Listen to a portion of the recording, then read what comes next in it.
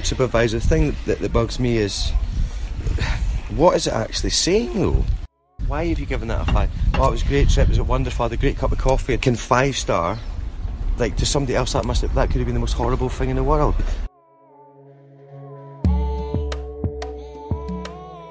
Welcome to the A Midlife Traveler podcast, where we want you to go see the world. Discover interesting stories about people, places, and practical advice to help you plan your next vacation. Hey, let's go see the world. Hey, hello everybody. It's Laura here with the Midlife Traveler podcast. Thank you so much for joining us today. We are sharing about Scotland through the voice, the mind, and the opinions of a Scotsman named James. Today's episode, I, I think, is really, really interesting as a person who travels and who explores the world you know, both from an independent traveler perspective, but also from a tourist perspective. You know, sometimes I do my own trips and sometimes I just join tours. And James is a person that has. He actually has an entirely different career outside of tourism, but on and off, he's worked as a tour guide in Scotland for the past 10 years. And over that time, he has seen a lot of change. He's seen a lot of change in the type of travelers, the type of tours that people requesting, and in particular, the impact of the internet in the age of travel. So, you're going to hear in James's voice about how touring and traveling has changed over the years as more and more people discover Scotland, you know, a lot online, particularly in the age of online review services like TripAdvisor, and how that can lead to this uh, monkey see, monkey do mentality among tourists. So, the part of the conversation that you don't hear recorded that happened right before he speaks, we were talking about the tourist photo mentality and how my belief that a lot of people, we just show up and we take the same damn photo of the same damn place from the same damn perspective. And in part, we do that because we see these things online 10 great things to do here, five must sees. And so we all show up with that checklist of, of things that we want to photograph, right? We want to prove we saw those 10 things, we did those five things. So we were talking about how tourists kind of all hoard together at sites that they've learned about and take the same photo. And then he shared some stories as a tour guide perspective, which I had read about online. The fairy pools are on the Isle of Skye. And I was actually, admittedly, a bit sad that the length of time I was in Scotland did not allow me to go up into the Isle of Skye or, you know, the island highland region. But James shared kind of a secret, which is how the fairy pools became so famous and popular basically on the combination of a made up story from the guides and the age of internet sharing, you know, coming into collision. So this recording, like others, it's also a field recording. This one was taken while we were walking at a place called Lindisfarne. So the background noise that you're going to pick up is crunching of gravel, it's chirping of birds, and you know, maybe there is an occasional car as we cross the street in one place. But the background noise in this is much more pleasant than some of the other recordings I've had while driving.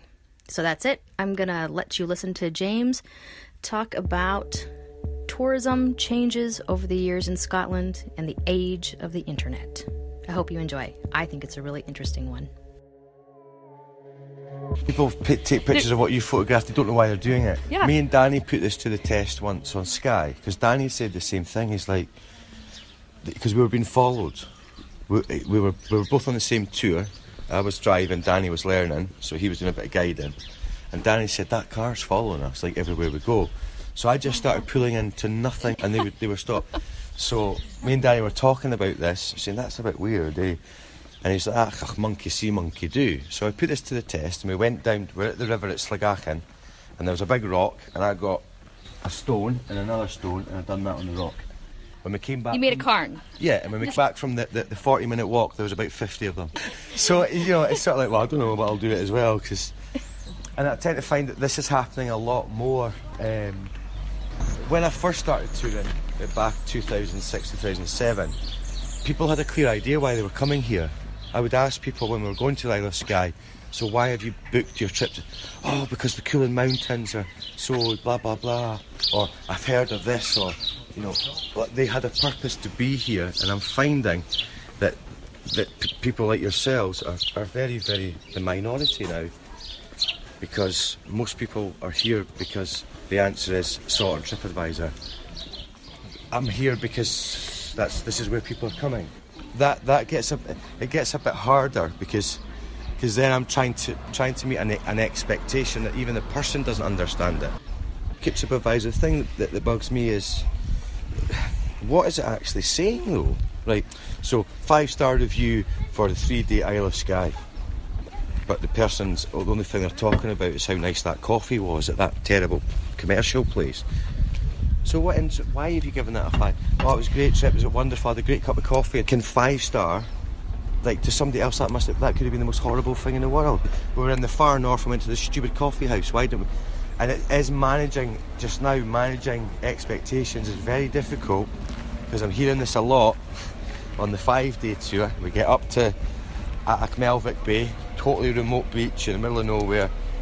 Daylight today, there for two minutes. Um, what's the alternative? Sorry, where's the where's the coffee? Where's the where where can I get? Where's what's the alternative? I don't like beaches. okay, so can I ask? You know the tour that you chose? It's called the Far Remote North Coast. Why did you expect there to be Costa Coffees up here? Or isn't there? And it's like we can't have s- written any more on, on the information. So this is getting harder because people are unsure. They've not researched why they're coming, and for many travellers, if Scotland's the first time, it's like yeah, but wherever wherever else I travel, there's always, and I'm like, but the appeal, the reason that people come to Scotland is that there's not. So that's getting difficult, and the more that we try to, the more that we try to meet those customers' expectation for having all the services and the coffee houses, then the more we remove the reason that people were coming here in the first place. When we first started doing the touring, it wasn't upmarket. Ten years ago, it was just backpackers, budget touring, really staying in youth hostels, cooking together with the group all night, and we would take them to places like the fairy pools on the Isle of Skye. There has never been a place on the Isle of Skye that's existed called the fairy. We called it that as guides to just tell a fairy tale. And now people come and say, I want to go to the fairy pool. So we take them there, but we can't take them there anymore because it's so busy I can't park the bus. So all we can do is drop them off and say it's about a kilometre walk that way. And when and it's just hundreds of people not knowing why they're there. Because the fairy pools are not special. The reason that people wrote on the internet about the fairy pools was because they remember the story we told them there. That's what was special. So when we just send the customer there, they don't know what they're doing there.